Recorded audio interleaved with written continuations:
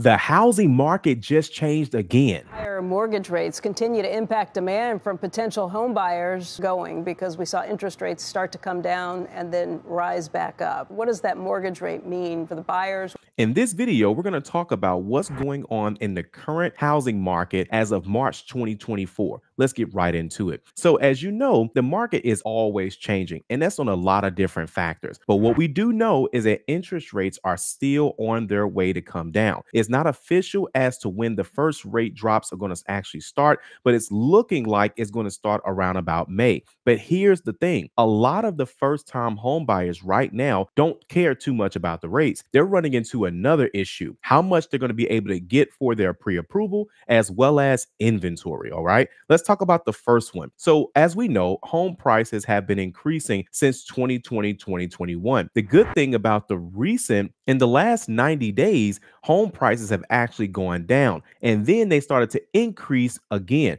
But again, just because they went down does not mean that they went down to what they were prior to 2020, prior to 2021.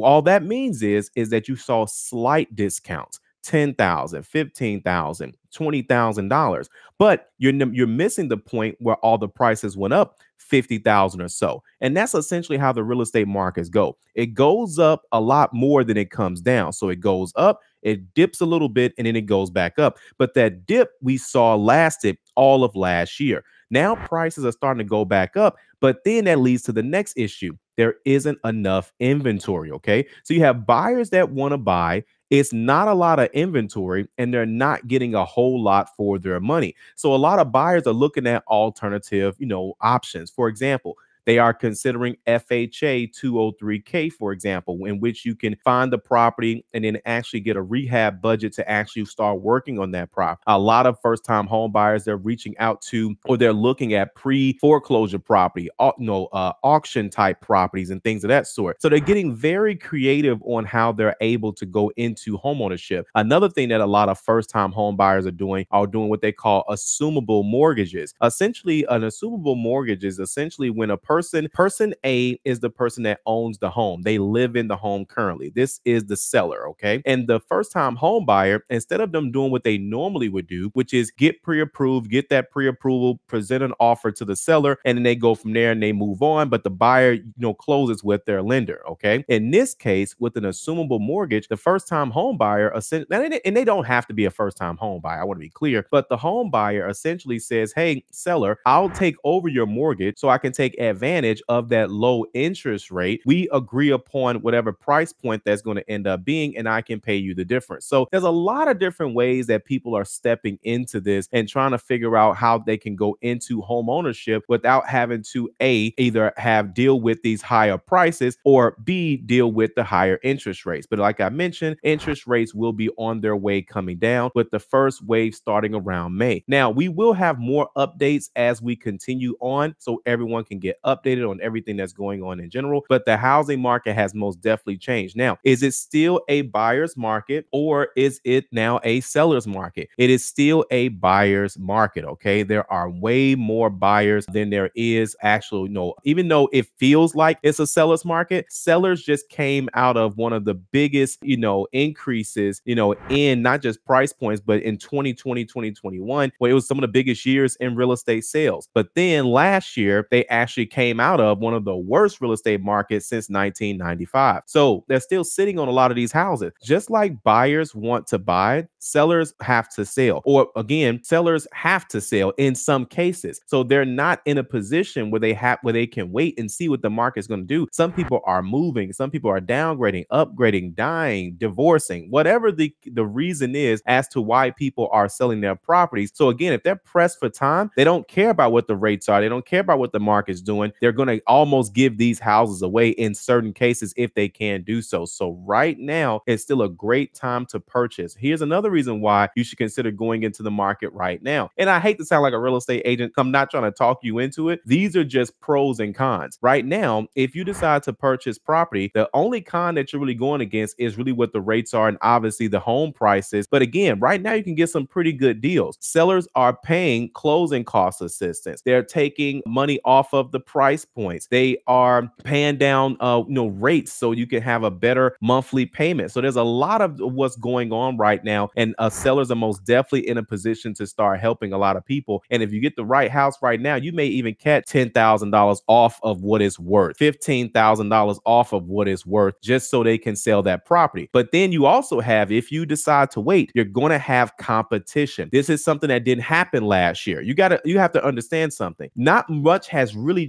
changed from now from you know from last year. The rates went down just a little bit, but they they, they went back up. So it's really about the same as last year. The only difference is people waited last year and now they pretty much have to go into homeownership for whatever reason. Same thing with sellers. Some people have to make these decisions right away. And so that's why you've seen a lot of good deals come together because people are saying, Hey, I'll take this for this. And then the sellers are saying, Well, hey, we could do this if you do this. Great. Let's come to an agreement because I'm looking to buy a house and great, you're looking to sell your house. All right. So, of course, if you like this video, you're most definitely going to love the next one, and I'll see you there.